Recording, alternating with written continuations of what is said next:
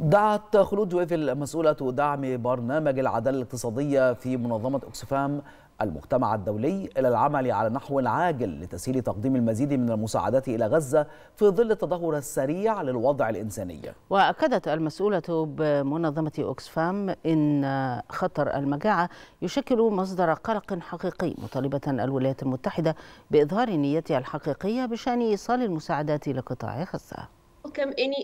أعتقد أنه بدلا من ذلك نحن بحاجة إلى إنقاذ هذه الجهود لتسهيل عملية إدخال المساعدات إلى غزة؟ نحن نرحب بالجهود الدولية وجهود تعاون وفيما يتعلق بالولايات المتحدة في الواقع.